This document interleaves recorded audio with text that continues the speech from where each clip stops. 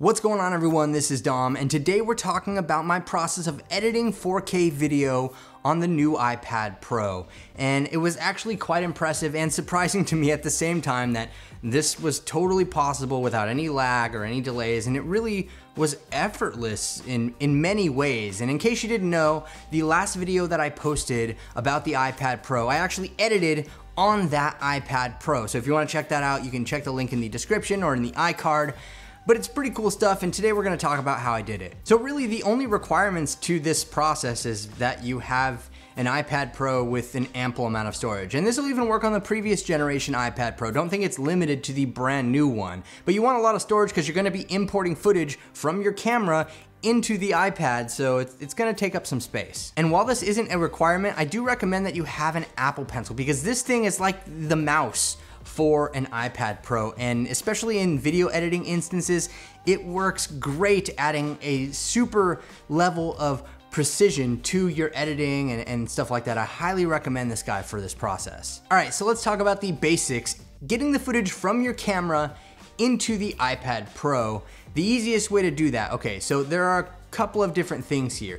First off, if you're using a Canon camera, it's gonna be super simple. You can actually just use Apple's USB Type-C to SD card reader or any USB Type-C to SD card reader, plug it into the bottom of the iPad Pro, plug in the SD card, and the Photos app will pop up and allow you to import your footage. Super simple. Now I only have Sony cameras to test out here, but there is a little bit of a different way to do this if you're using a Sony camera. For example, I have the a7 III and a6500, and in both of these instances, you have to make sure you have the camera settings set up a certain way. So if you go into your menu, you wanna make sure that you have the file transfer type set to MTP, and then you wanna turn off USB power supply, and doing those will save you a lot of headache during this process. Some people would say actually that importing footage from a Sony camera is a lot easier than anything else because you don't even have to take out the SD card. I mean, with the a7 III right here, we have a USB Type-C port on this guy, so you can easily just take the charging cable that came with the iPad Pro,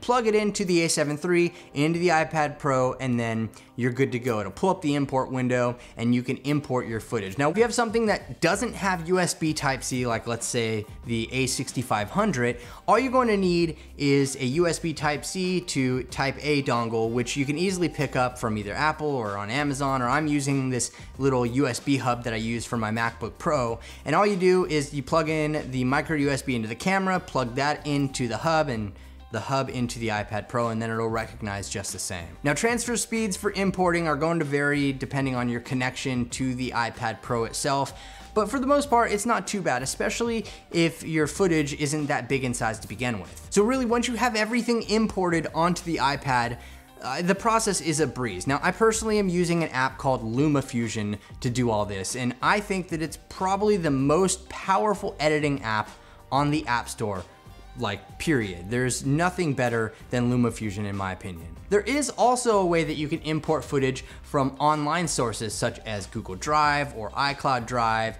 things like that. There's Dropbox support. There's a lot of different options in there as well. Now I will say real quick, one of my favorite things about LumaFusion is the fact that it supports LUTs and you can easily import LUTs from iCloud Drive. I did that in my instance anyway. I went ahead and set up an iCloud Drive folder that has a bunch of editing resources in it that I can pull from as I need. So I have all my LUTs stored in there. I can easily import one right into the app and then use it and apply it to my footage. Makes my color grading process a little bit easier. I mean, aside from all of that, all that setup work involved, everything is pretty smooth sailing from there. I mean, once you have your footage in LumaFusion, you can just drag and drop into a timeline and you can start cutting away. And like I said, using the Apple Pencil to precisely, you know, trim your clips and drag things around has been a huge benefit to me. And you can do this with the first gen or second gen Apple Pencil. Like I said, this will work on any generation iPad. I guess it's just depending on what kind of demanding video task you're trying to do.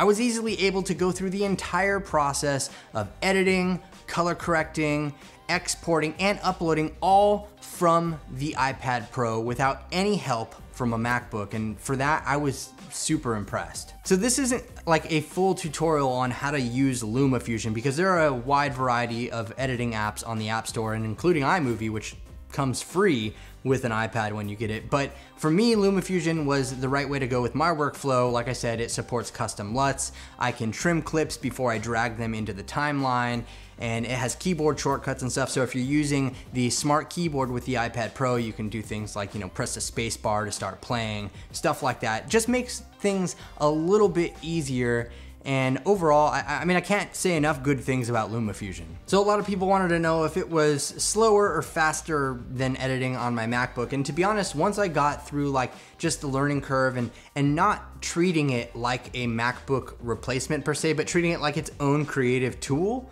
it was very easy and it, didn't take really any longer than editing on my MacBook did. Like, I, I was really surprised at the whole thing. Like, I never thought that this kind of workflow would be possible on a tablet. But I don't know, I wanna know what you guys think in the comments section below. And if you want more details about anything that I did on here, how I accomplished it, definitely be sure to leave your comments below and I'll go ahead and answer them as best I can. But if you enjoyed this video, feel free to subscribe and hit the bell for notifications so you're the first to be notified when a new video drops. And also, leave this video a thumbs up if you wanna see more stuff like this about my workflow with an iPad Pro or anything else. But this whole thing has been a fun learning process for me and I you enjoyed the video. Thank you so much for watching everyone. This is Dom and I'll catch you in the next video.